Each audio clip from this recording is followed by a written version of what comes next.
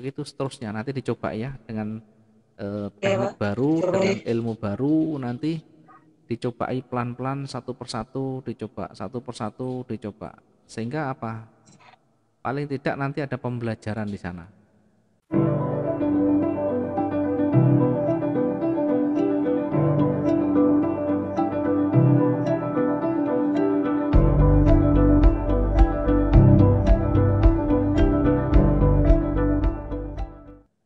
yang paling bagus sih cobanya pakai laptop atau pakai handphone ya? Bi? Eh, dua-duanya dicoba bu mana yang nanti Oh. longgarnya coba ada kalanya coba pakai laptop ada kalanya pakai handphone jadi tidak eh, susah nanti kita membaca dua-duanya kalau kita bisa membaca Oh, iya. dua-duanya kan enak kalau Oh, iya. misalkan bisa pakai laptop nanti kita pakai laptop kalau di luar misalkan bisanya pakai HP ya kita manfaatkan yang ada yang penting kita tahu tekniknya dasarnya tahu konsepnya tahu maka kapan pun di mana pun dengan media apa pun ketemu nanti.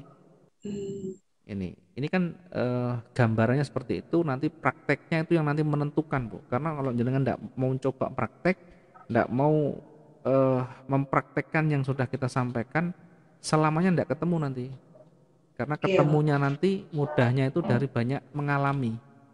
Banyak kita iya. mencoba kemudian menggambar. Kalau pengen belajar menggambar yang cepat dulu ya pakai laptop yang tadi pakai yang ini. Oh, draw trend line.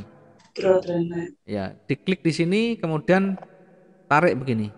Kalau misalkan nanti dia garisnya panjang maka klik dua kali sampai ada titiknya kemudian klik kanan nanti ada trend line property sekali lagi kalau misalkan nanti ini kadang garisnya panjang ini tiba-tiba panjang. Tidak bisa diperkecil begini. Nah, maka caranya diklik dua kali diklik dua kali sampai muncul titiknya terus klik kanan trend line property nanti di sini eh, biasanya ini ada centang begini dihapus ini kalau centangnya nah, ini kan panjang saya buat coba ya nanti ya coba saya buat nah ini kan begini Iya.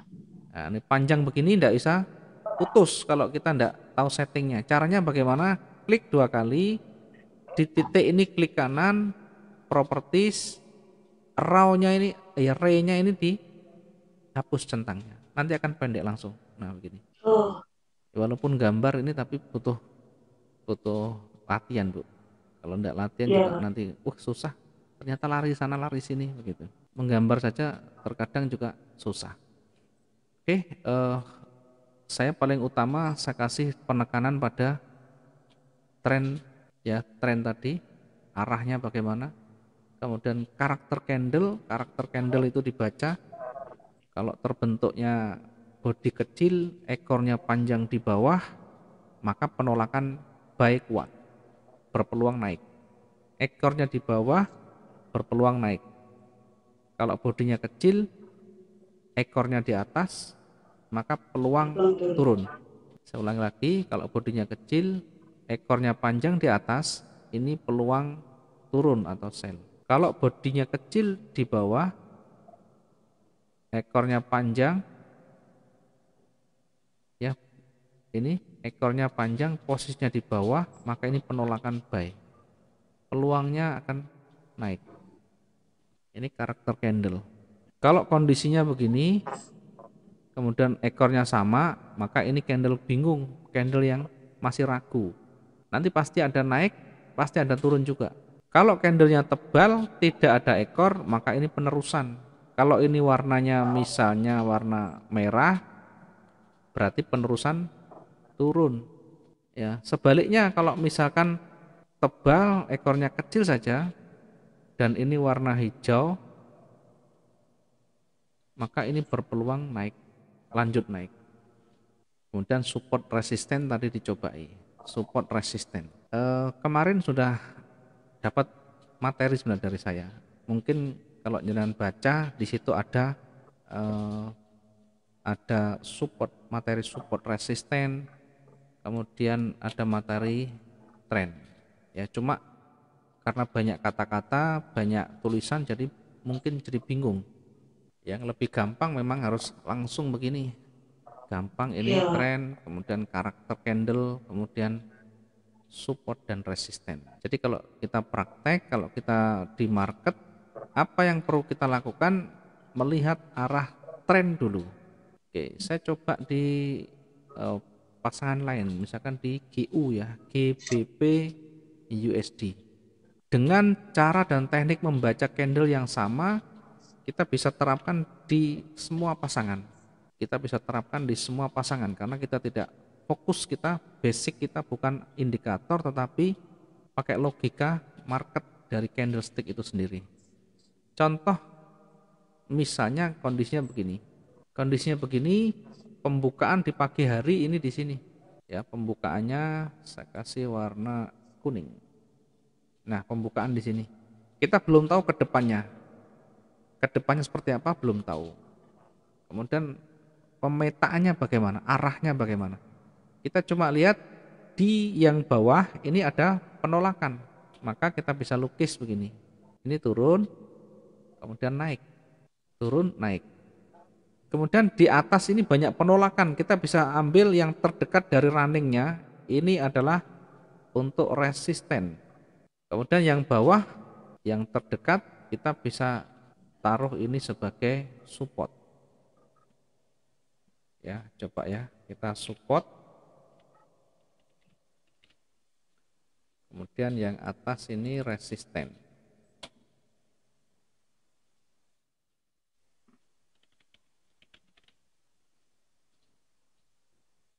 Kenapa kok tidak dilakukan? Ya, tidak harus dilakukan, tetapi banyaknya penolakan, banyaknya rejeksi, banyaknya ekor bisa menjadi tumpuan untuk resisten, resisten maupun supportnya. Kenapa supportnya tidak berada di sini? Ya, tidak di sini. Karena ini sudah di bawah sudah ada lagi.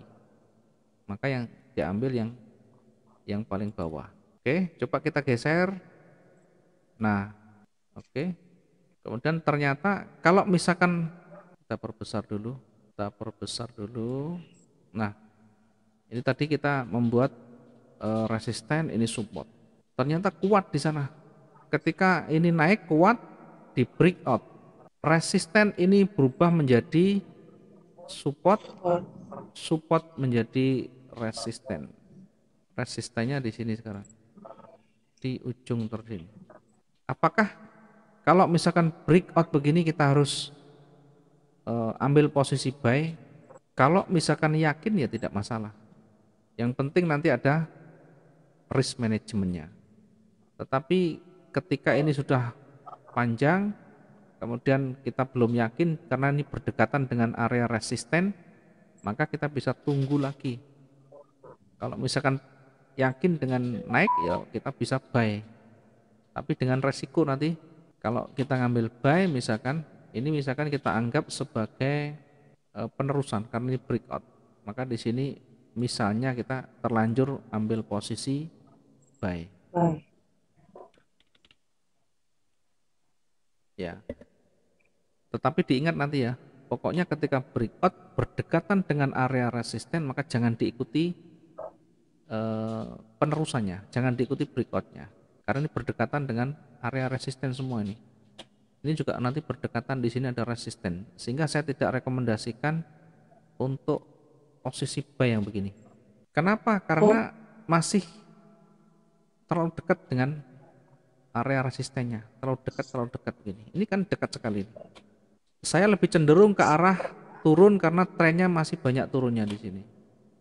Diperhatikan, diingat, ini keseluruhan ini adalah tren turun. Ya, kalau misalnya pergerakannya uh, separuh atau lebih dari atau separuh lebih dikit ya, ya bagi saya ketika ini uh, mau naik kuat, tapi ujung tertingginya juga belum dilewati. Ujung tertingginya juga belum dilewati. Saya masih cenderung uh, buyer, uh, sorry seller. Namun tidak bisa kita tiba-tiba masuk sell di atas ini sesudah merah, sesudah hijau tidak bisa karena memang hijaunya kuat. Harus diuji kira-kira sampai di mana naiknya. Kalau misalkan terlanjur buy bagaimana? Ambil resiko 2 sampai 5%. Harus di cut loss. belajar untuk tega dengan di cut loss. Cut loss apa sih, Pak? Loss itu di close rugi itu loh. Oh, close rugi. Ya, itu namanya cut loss. Cut itu memotong, loss itu rugi. Jadi memotong rugi, memaksa di close rugi. Contoh misalnya, eh, misalnya ini 0,2. Kemudian modalnya 2000. Modal 2000. Modal 2000 ini lot 0,2. Bisa dengan 500 pip, bisa dengan 2 sampai 5 persen. Kalau kita ngambil tengah-tengah misalkan 3 persen berarti eh, 3 persen dari 2000 dikali 2000 60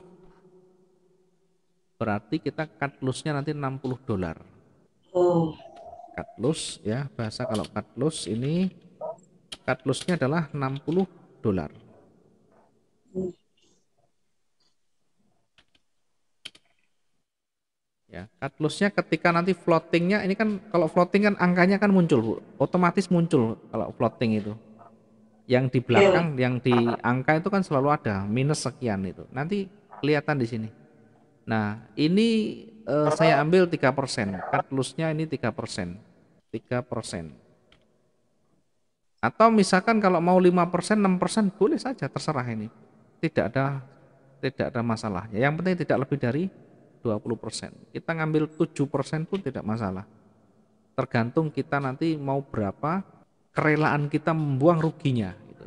Itu berkaitan dengan keikhlasan dan kerelaan kita.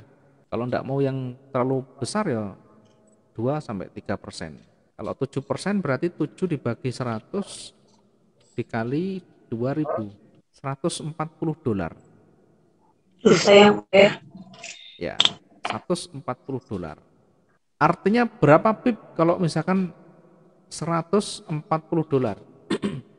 Tinggal bagi caranya cara menghitung pip 140 dibagi lotnya.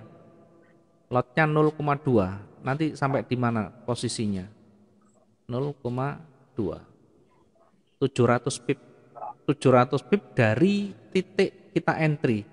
Titik kita entry berada di ujung awal ganti candle di sini bukan di atas karena pembukaan candle ini berada di sini. Ini warna merah kemarin teori eh, candlestick pembukaan kalau warna merah pembukaan selalu di atas, penutupan selalu di bawah. Berarti di ujung atas ini kita buy tadi awalnya. Maka untuk mencapai 140 dolar itu tadi sekitar 700 pip.